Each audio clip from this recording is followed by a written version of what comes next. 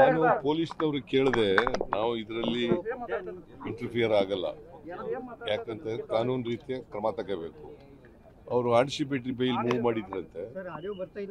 ಯಾವುದೋ ಕಿಡ್ನಾಪ್ ಕೇಸ್ನಲ್ಲಿ ಆಂಟಿಸಿಪೇಟರಿ ಬೈಲ್ ಸಿಕ್ಕಲಿಲ್ಲ ವಜಾಗೋಯ್ತು ಅವ್ರ ಆಂಟಿಸಿಪೇಟರಿ ಬೈಲ್ ಅದಕ್ಕೆ ಅವ್ರನ್ನ ಕಸ್ಟಡಿ ತಗೊಂಡಿರ್ಬೇಕು ಅಂತ ಅನ್ಸುತ್ತೆ?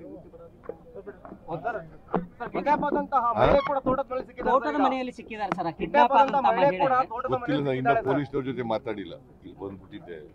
ಪೊಲೀಸ್ನವ್ರ ಜೊತೆ ಮಾತಾಡಿ ಸರ್. ಮಾಜಿ ಮಾಜಿ ಸಚಿವ ಸಿ ಎಸ್ ಪುಟ್ಟರಾಜ್ ಅವರು ಮಾತನ್ನ ಹೇಳ್ತಿದ್ದಾರೆ ಸರ್. ಈಗ ಪ್ರಜ್ವಲ್ ರೇವಣ್ಣ ಅವರು ನೇರವಾಗಿ ಕೋರ್ಟಿಗೆ ಬಂದು ಸರೆಂಡರ್ ಆಗ್ತಾರೆ ಅಂತ.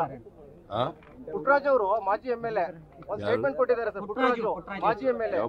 ಮೇಲ್ಕೋಟೆ ವಿಧಾನಸಭಾ ಕ್ಷೇತ್ರ. ಮೇಲ್ಕೋಟೆ ಮೇಲುಕೋಟೆ ಅವರು ಲೈರ? ಜೆಡಿಎಸ್ ಜೆಡಿಎಸ್ ಲೈರ ಅವರು? ಸರ್ ಪ್ರಜ್ವಲ್ ರೇವಣ್ಣ ಮಾತಾಡ್ತೀನಿ ಪೊಲೀಸ್ನವ್ರ ಜೊತೆ ಮಾತಾಡ್ತೀನಿ